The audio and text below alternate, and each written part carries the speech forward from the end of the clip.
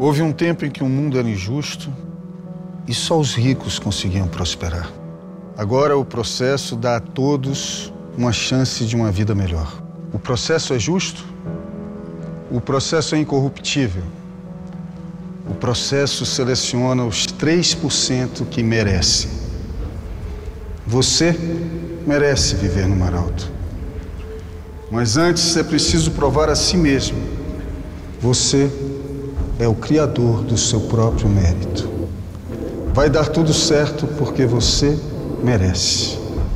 Essa é a sua hora. Nós estávamos esperando por você.